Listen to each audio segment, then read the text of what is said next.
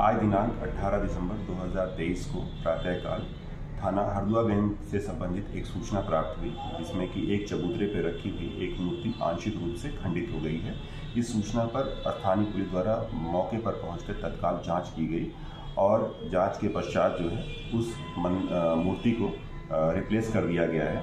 कारक एवं कारण की जानकारी के लिए विस्तृत जाँच हेतु एक अभियोग पंजीकृत करके जाँच की जा रही है। और साथ ही साथ मौके पर किसी भी प्रकार की कोई समस्या नहीं, शांति व्यवस्था कायम है।